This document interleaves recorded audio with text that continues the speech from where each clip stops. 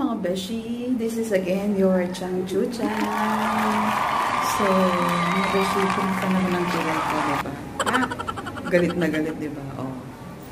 Okay, guys. So, this video, ang gagawin natin since birthday ko, again, so, carbonara. Uh, wow! So, samahan nyo ako. Magtutuluto tayo ng carbonara at ipapakain natin sa mga amo ko. Papatikman natin sa kanila. Okay? So, tara na guys! Let's do it! Okay, mga beshi. So, this is the ingredients that we need para sa paggawa ng carbonara. Okay? Of course, the minced pork. So, you have any option. But, for my version, I use the minced pork. Okay? Of course, garlic and onion. Okay, of course, yung pasta natin, tago natin yung pangalan, baka sabihin ini-endorse natin sila. Okay, pero baka naman, charot. And then, the mushroom. Okay, the mushroom cream. And then, yung para sa pang carbonara. Ayan, ang sauce niya. And of course, the cheese. And of course, the salt and pepper. Okay? So, tara na guys. Lutuin na natin ang ating carbonara. Let's do it! Guys, uh, lulutuin muna natin yung pasta natin. So, you need the water. And, need to put oil. Oil para hindi magdikit-dikit yung yung pasta. Okay. And then, lagyan mo siya ng konting salt. So, guys, uh, every time na magluluto ako, I'm not using any MSG sa niluluto ko. I just use salt only and that is Himalayan salt. Okay, taray, di ba? So, yun siya guys. So, mga beshi, after waiting na mag-boil ang ating pasta, on the other side, uh, iluluto naman natin ang ating sauce. Okay. So, multitasking. Wow! So, put a little bit oil. Ayan.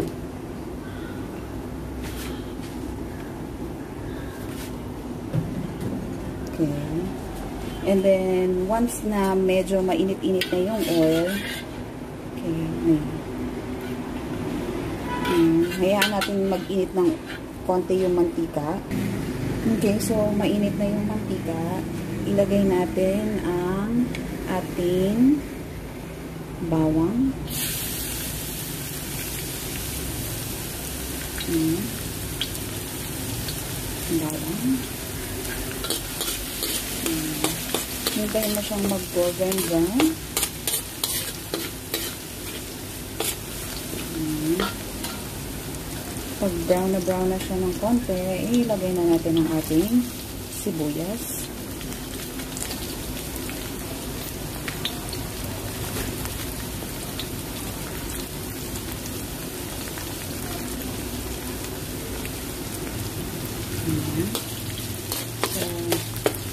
Haluin lang.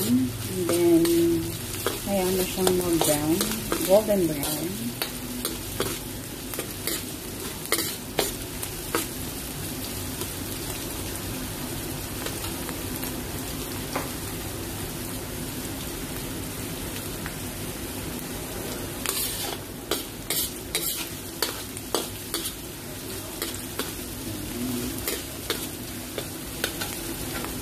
Then, after that, ilagay na natin ang ating minced pork.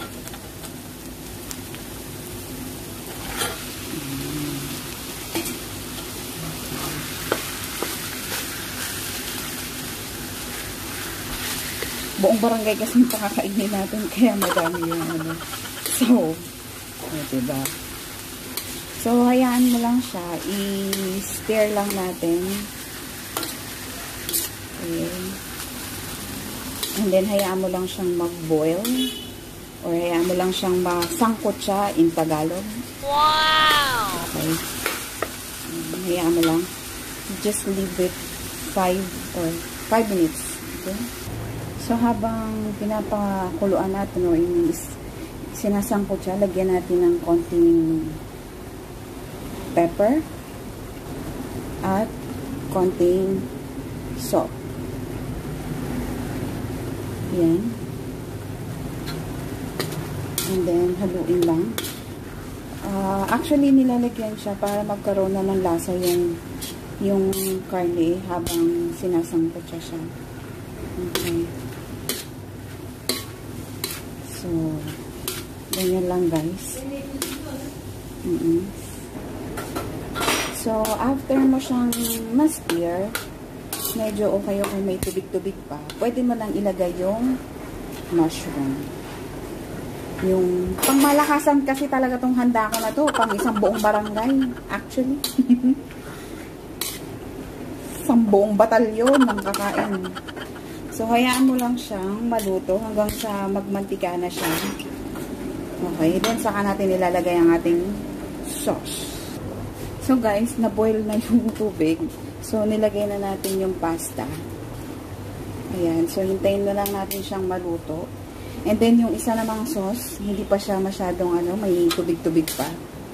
So, hintayin natin siyang magmantika and then saka natin lalagay yung sauce. So, ayan na guys. Luto na yung pasta natin. Okay, luto na siya. So, isalin na natin. Yung ano ko, hindi pa siya tapos. hindi pa siya nagmamantika. Okay. After nyan, lagay na natin yung sauce. So, ayan na guys. Luto na siya. Nagmantika na. So, ibubuhos na natin yung mga sauce. Sinunusin na yung sauce. Ayan. Mm, tubig.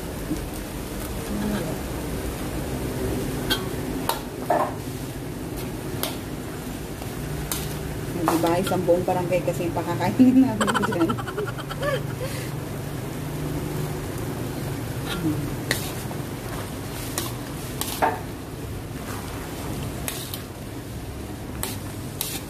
Haluin lang natin ang haluin, guys, kasi magdidikit siya. Ayan.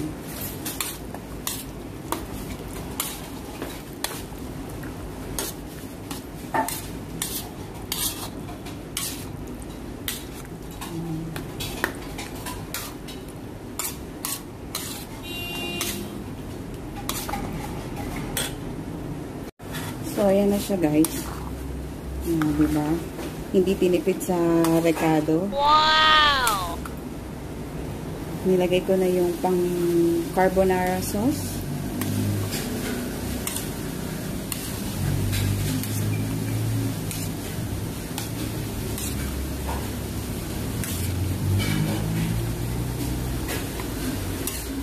Haluin nyo lang ng haluin.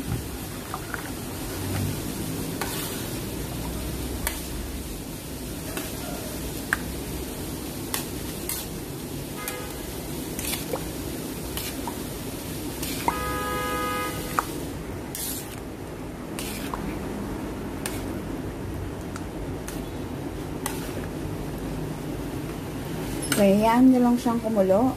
Ngayon.